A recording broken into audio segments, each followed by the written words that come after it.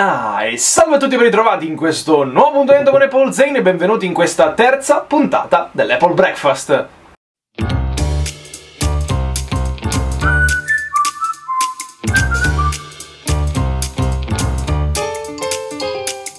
Allora ragazzi, questa serie vi sta piacendo veramente tanto. Certo, a me non piace tanto bere sempre l'acqua dalla tazza, però mi avete fatto anche nello scorso episodio tantissime domande ed oggi infatti andremo a rispondere a tutto quello che mi avete commentato.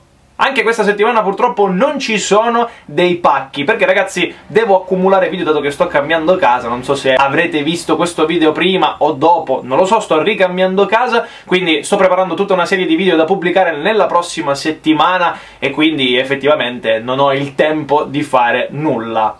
Ah, tra l'altro, se mi vedrete vestito sempre allo stesso modo è perché tutt'oggi sto registrando appunto 5-6 video per la prossima settimana. Intanto ragazzi, come al solito, vi ricordo che per poter commentare e partecipare al prossimo Apple Breakfast, scrivete qui sotto con l'hashtag AB una domanda alla quale ovviamente risponderò. Ma iniziamo con la prima domanda che ce la fa Davide Williams e mi scrive Hashtag AB, ciao Mirko, la promozione Apple per il cambio batteria a 29 euro per il 2018 è valida anche su iPhone 7 se la batteria è all'86% o deve essere logorata? Grazie. Allora Davide, ti spiego che la batteria in questo momento può essere sostituita con qualsiasi percentuale di usura, che sia al 99, che sia al 98, che sia all'86, in questo momento a 29 euro tu basta richiedere il cambio e ti cambiano la batteria, non, cioè non guardano il fatto che sia usurata misurata o meno. Puoi anche aver comprato oggi uno smartphone Apple e poi il giorno dopo richiedere il cambio batteria, cioè a loro non frega niente. Comunque sì, la promozione è valida per iPhone 6S, iPhone 6, iPhone 7, eccetera, eccetera, quindi puoi tranquillamente farlo. Aletech mi scrive Hashtag AB Ciao Mirko, faranno mai dei MacBook Air di vetro come XXS ed XS Max? Beh, ti dico subito che un Mac di vetro, cioè, sarebbe troppo fragile. Dovesse cadere un Mac non avrebbe lo stesso impatto di uno smartphone Quindi effettivamente credo proprio di no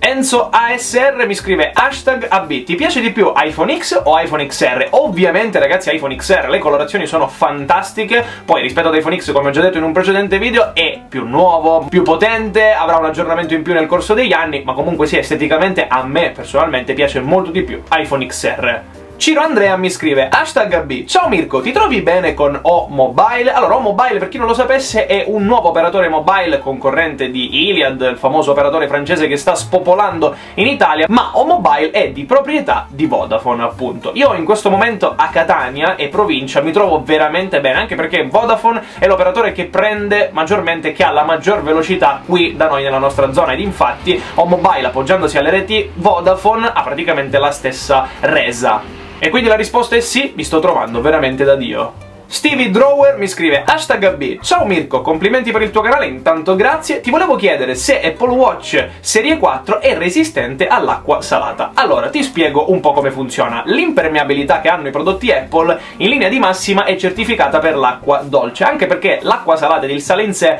corrode sia i prodotti in alluminio sia le componenti elettroniche Quindi utilizzare un ipotetico Apple Watch, eh, non lo so, a mare Io, cioè, non sarei molto d'accordo. Nella versione acciaio magari magari sì. Per la versione alluminio magari no, perché sì, è resistente fino a 50 metri di profondità, ma non è resistente al sale. Quindi il sale distruggerebbe il tuo Apple Watch, io personalmente te lo sconsiglio. Infatti Apple nelle sue pubblicità dove fa vedere che ad esempio Apple Watch è utilizzato da, non lo so, un surfista per fare surf appunto fra le onde, sicuramente avrà la versione in acciaio e non quella in alluminio. Luca De Matteis mi scrive Hashtag AB Ciao Mirko, sono un tuo fan e volevo chiederti, a parte le AirPods, quali auricolari Bluetooth consiglieresti da usare con un iPhone XR o un Apple Watch Serie 3 che siano di estetica tipo le AirPods in una fascia di prezzo tra i 30 e i 50 euro? Grazie in anticipo, sei un grande. Allora, caro Luca, ti dico semplicemente che cloni delle AirPods non te li consiglio. A 30-50 euro non hai un paio di cuffie ottime come le AirPods, quindi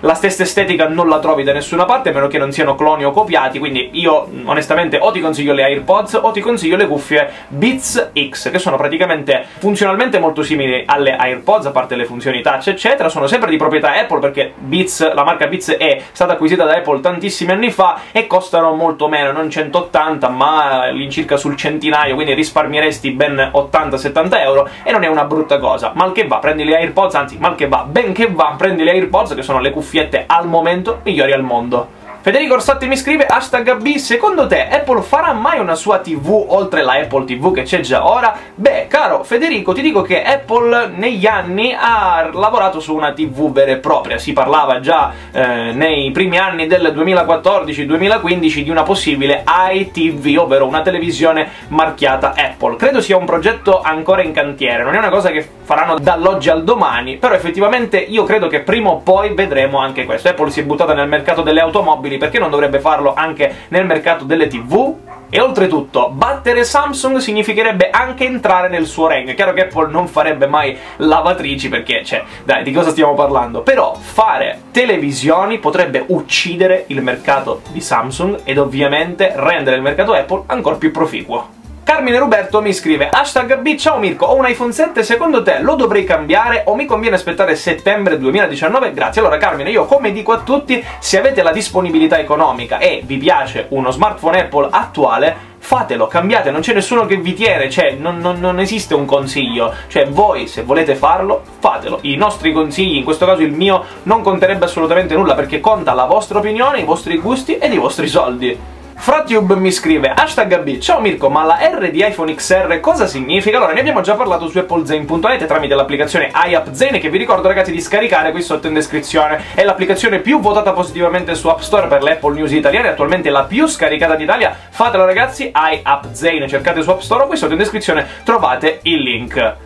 Comunque, dicevo, la dirigenza Apple ha parlato di questa R perché durante un'intervista hanno chiesto cosa significasse questa R. Ora, non hanno dato una spiegazione ben precisa, però diciamo che l'intento della lettera R, dice la dirigenza Apple, è affiancato al mondo delle automobili, ovvero nel mondo delle automobili, inserendo la lettera R, si parla di un qualcosa di, non lo so, potente, proprio che aggrinta, una macchina comunque, diciamo, abbastanza cazzuta, diciamo così. Quindi siccome volevano dare un'impronta molto più forte a questo smartphone, l'hanno chiamato R senza dirci la sigla della R, ma praticamente viene prelevato da nomi di automobili, ecco, diciamo così. E soprattutto che rappresentano automobili di un certo spessore.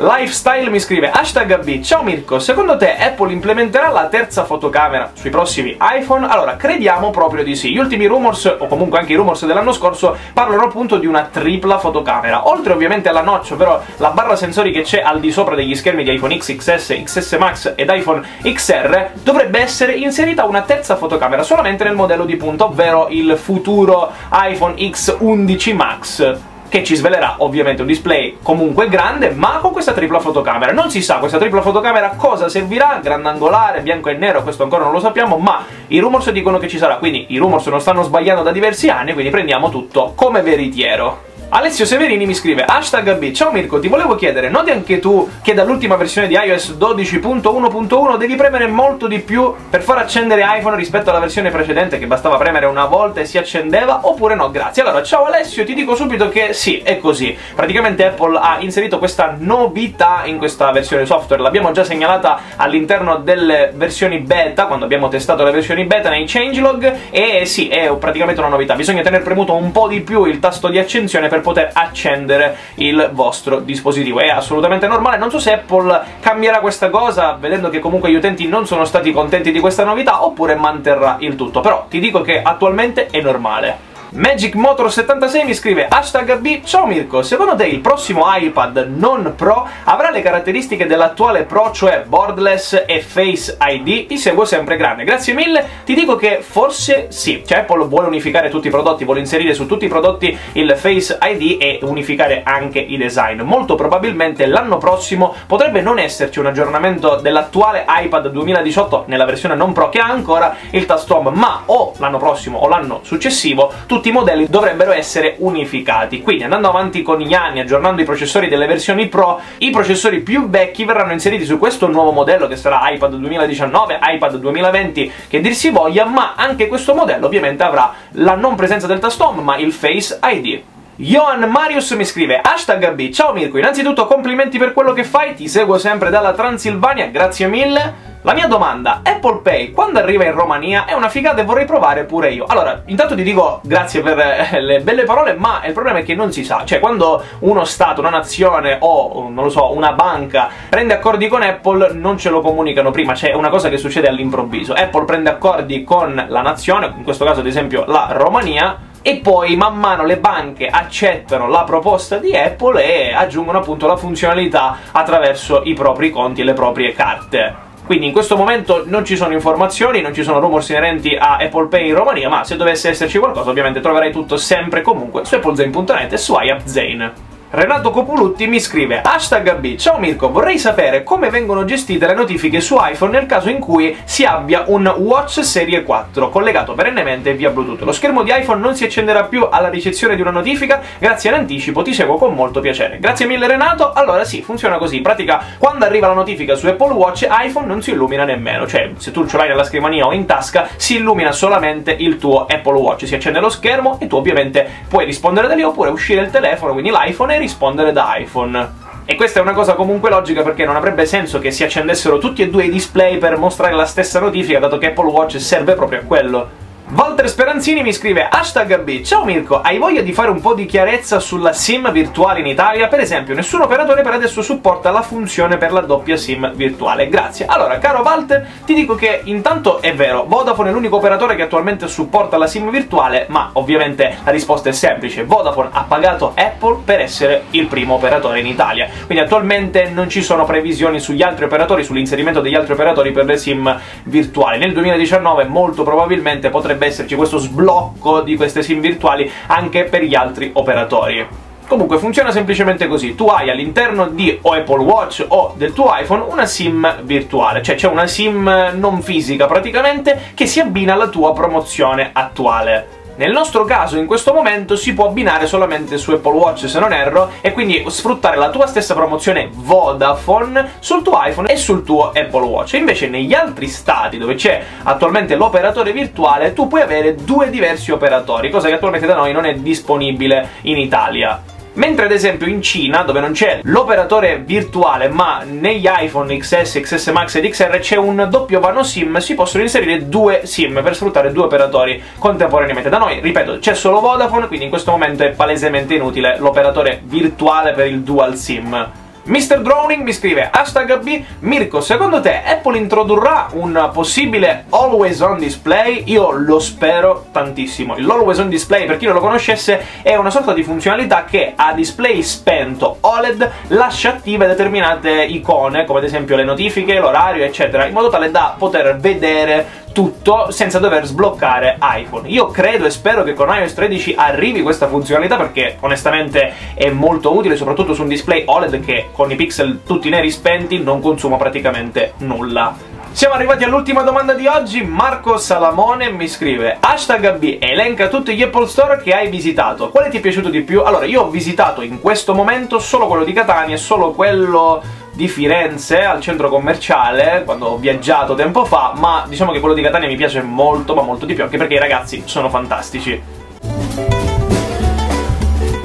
C'è solo un problema, io ho dimenticato di premere rec nel microfono, quindi questo video lo vedrete praticamente con un audio pessimo. Infatti questo spezzone lo sto registrando alla fine del video ma lo rimetterò all'inizio, cioè lo metterò all'inizio per farvi vedere che eh, ho sbagliato. Ragazzi scusate ma sto registrando tantissimi video per questo spostamento ennesimo per il trasferimento di casa mia, quindi non ho premuto rec. Ma comunque ragazzi, io vi ricordo come sempre di lasciare un commento, una domanda con l'hashtag AB per il prossimo video di lunedì prossimo dell'Apple Breakfast e io come al solito vi saluto, vi ringrazio ovviamente per aver visto questo nuovo video, come al solito arriviamo a 200 mi piace per il prossimo episodio, iscrivetevi e commentate, ci vediamo al prossimo appuntamento, sempre qui con Mirko per applezane.net e ciao!